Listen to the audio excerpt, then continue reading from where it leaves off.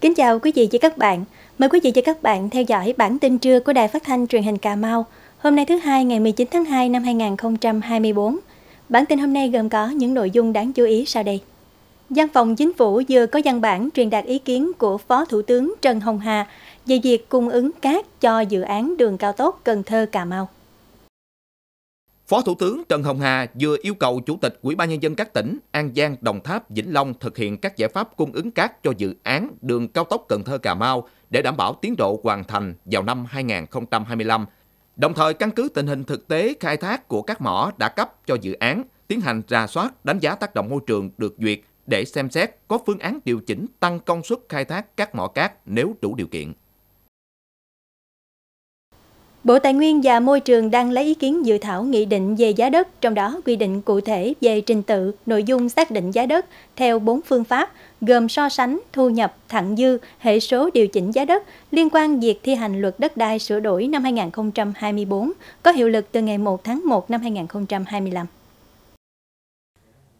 Theo đó, thông tin về giá đất, giá thuê đất, giá thuê mặt bằng để áp dụng phương pháp so sánh thặng dư và xây dựng hệ số điều chỉnh giá đất là thông tin trong khoảng thời gian không quá 24 tháng. Hội đồng Nhân dân cấp tỉnh chỉ đạo Ủy ban Nhân dân cấp tỉnh tổ chức hoàn thiện bảng giá đất để quyết định ban hành, công bố công khai bảng giá đất vào ngày 1 tháng 1 hàng năm và cập nhật vào cơ sở dữ liệu quốc gia về đất đai. Chiều hôm qua, Ủy ban Nhân dân thành phố Cà Mau tổ chức lấy ý kiến cử tri về việc sắp xếp lại đơn vị hành chính phường 2. Theo chủ trương sẽ sáp nhập toàn bộ diện tích tự nhiên quy mô dân số phường 2 và một phần diện tích phường 4 Phạm Di, đường Mậu Thân, đường Lâm Thành Mậu, giáp phường Tân Xuyên, giáp phường 9 và một phần diện tích phường 9 Phạm Vi tuyến dân cư, đường Nguyễn Trãi, đoạn từ đường Lê Lợi, phường 2 đến vòng xoay đường Mậu Thân.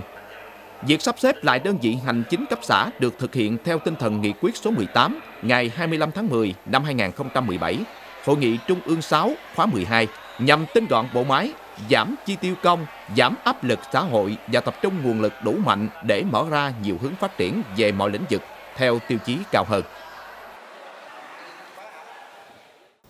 Sau những ngày nghỉ Tết Nguyên đán Giáp Thìn 2024, sáng nay tất cả học sinh ở các cấp học trên địa bàn tỉnh Cà Mau đã quay trở lại trường học, bắt đầu một học kỳ mới. Hầu hết học sinh đều rất háo hức phấn khởi đến trường để gặp lại bạn bè thầy cô sau kỳ nghỉ kéo dài 14 ngày.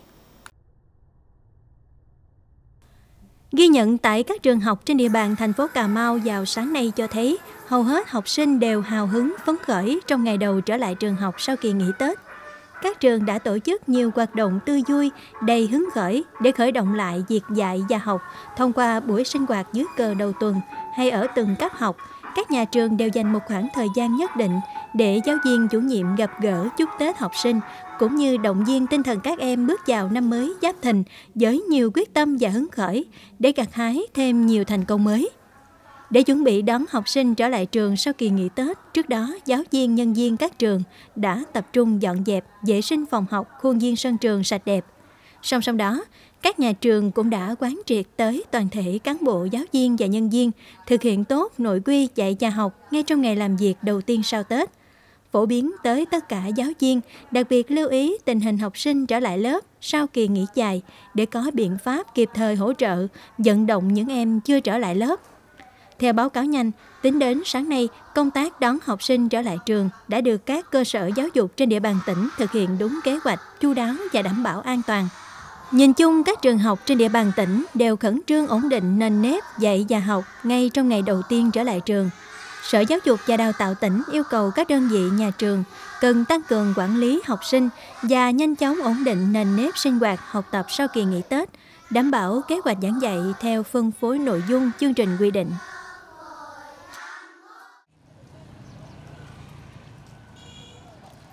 Học sinh trên địa bàn huyện Ngọc Hiển cũng vui vẻ hồ hởi đến trường sau kỳ nghỉ Tết. Trong buổi sáng nay, các trường đều dành một khoảng thời gian nhất định để sinh hoạt dưới cờ, sinh hoạt nội quy, chúc Tết học sinh, cũng như động viên tinh thần các em cố gắng nỗ lực trong học tập để đạt thành tích cao trong năm học.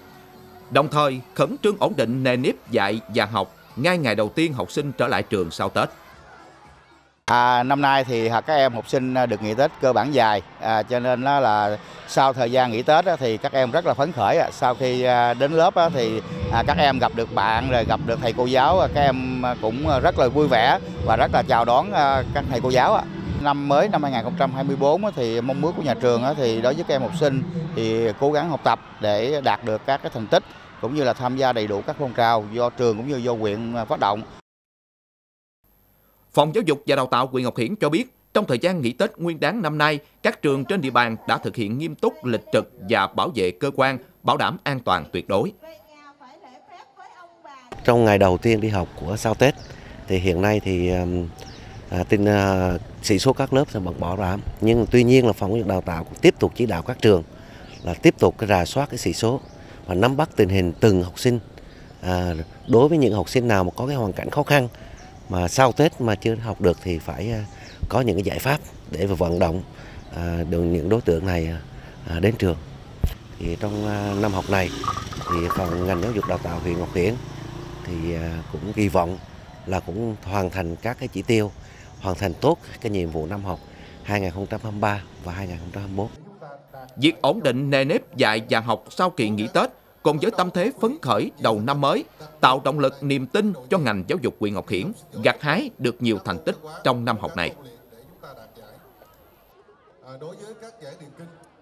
Trong ngày vía thần tài mùng 10 tháng Giêng âm lịch, nhiều người có quan niệm mua vàng để may mắn cả năm. Những người kinh doanh buôn bán càng coi trọng quan niệm này. Giá vàng trong nước ngày vía thần tài sáng nay giảm 150.000 đồng một lượng so với chốt phiên hôm qua. Thị trường dự báo sẽ có nhiều biến động trong ngày vía thần tài. Cụ thể, tại thời điểm 8 giờ 50 phút, tập đoàn vàng bạc đá quý Phú Quý niêm yết giá vàng SJC ở mức 75,4 78,2 triệu đồng một lượng mua vào bán ra, giảm 350.000 đồng một lượng ở chiều mua vào và giảm 150.000 đồng một lượng ở chiều bán ra so với phiên hôm qua. Tập đoàn vàng bạc đá quý Phú Quý niêm yết giá vàng SJC ở mức 75,4 78 triệu đồng một lượng mua vào bán ra giảm 400.000 đồng một lượng ở chiều mua vào và giảm 100.000 đồng một lượng ở chiều bán ra so với phiên hôm qua. Còn công ty vàng bạc đá quý Sài Gòn niêm yết giá vàng SJC ở mức 75,4 78,42 triệu đồng một lượng mua vào bán ra, giảm 400.000 đồng một lượng ở chiều mua vào và đi ngang ở chiều bán ra so với phiên hôm qua. Hàng hóa Tết phong phú đa dạng kết hợp một số chương trình khuyến mại nên giá cả ổn định so với ngày thường và chỉ tăng nhẹ so với Tết năm trước do giá đầu vào tăng. Tuy nhiên sức mua lại yếu, Bộ Công Thương đã có lý giải về thực tế này. Tại các chợ truyền thống, nguồn cung hàng hóa thực phẩm cũng được tăng cường, đáp ứng đủ nhu cầu, đặc biệt không xảy ra tình trạng thiếu hàng hoặc tăng giá bất hợp lý, không xảy ra tình trạng khan hàng sốt giá. Tuy nhiên, sức mua lại yếu hơn so với Tết năm trước. Lý giải nguyên nhân sức mua yếu, Bộ Công Thương cho biết thị trường các mặt hàng phục vụ Tết năm nay khá đa dạng phong phú. Tuy nhiên, người dân, người lao động có xu hướng chi tiêu cẩn trọng hơn, tiết giảm những chi phí không cần thiết. Do đó, sức mua chỉ tăng trong những ngày cận Tết và chủ yếu tập trung vào các mặt hàng lương thực, thực phẩm, hàng hóa thiết yếu, phục vụ nhu cầu tiêu dùng hàng ngày và trong dịp Tết. Trước tác động biến đổi khí hậu, bệnh sốt xuất huyết không còn xảy ra theo quy luật vào mùa mưa như trước đây, mà ngay trong những tháng mùa khô như hiện nay, mầm bệnh vẫn lưu hành và gây bệnh. Tại huyện Cái Nước, từ đầu năm đến nay, đã ghi nhận 20 ổ dịch nhỏ với 20 ca mắc.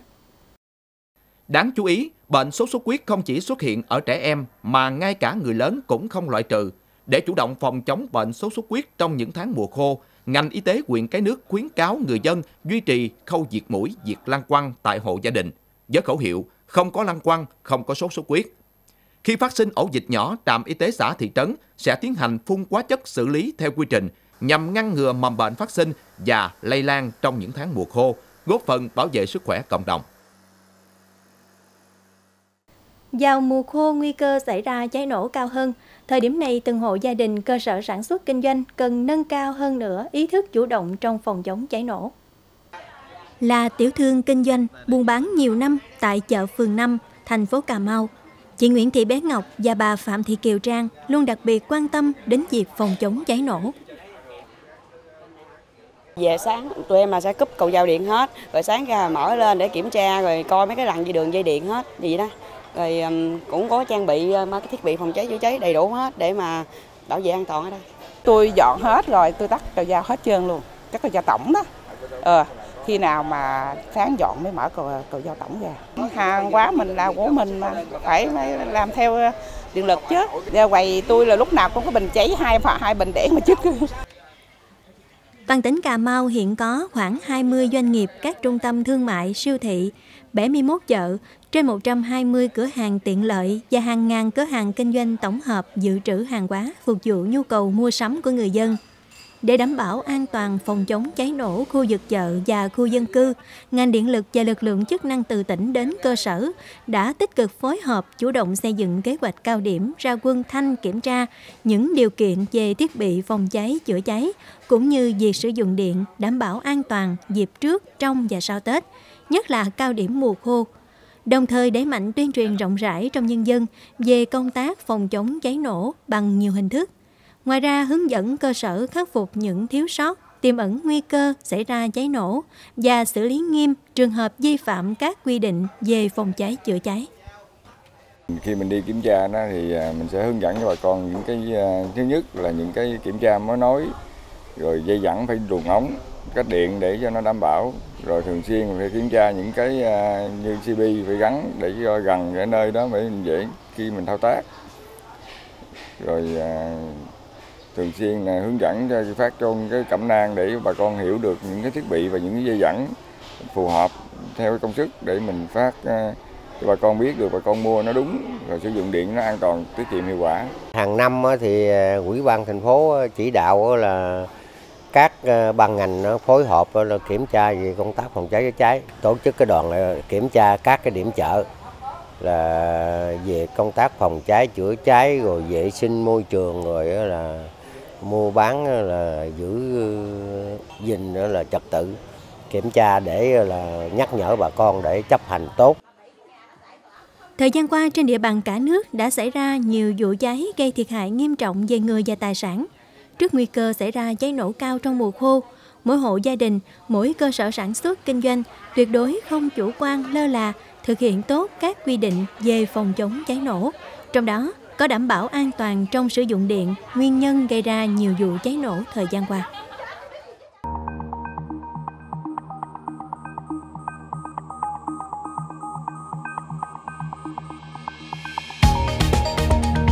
Báo Cà Mau khởi đăng loạt bài viết phòng chống giặc nội xâm là công việc hệ trọng của đảng trong số báo phát hành hôm nay, thứ hai, ngày 19 tháng 2 năm 2024. Bước phát triển tư duy lý luận của đảng về phòng chống giặc nội xâm là nhan đề của bài 1 được đăng tải trên trang 3. Bài viết đã đưa ra nhiều lập luận biện chứng về vấn đề phòng chống tham nhũng tiêu cực trong hệ thống chính trị.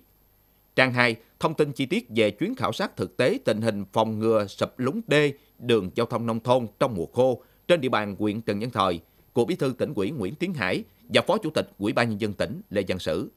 Ghi nhận trên trang 9 cho biết, năm nay huyện Nam Căn được tỉnh chọn truyền hình trực tiếp lễ giao nhận quân. Đến thời điểm này, công tác tuyển quân của huyện thực hiện đúng tiến độ, quy trình tuyển quân nghiêm túc, chặt chẽ, đảm bảo các điều kiện để lễ giao nhận quân năm 2024 được diễn ra thành công tốt đẹp.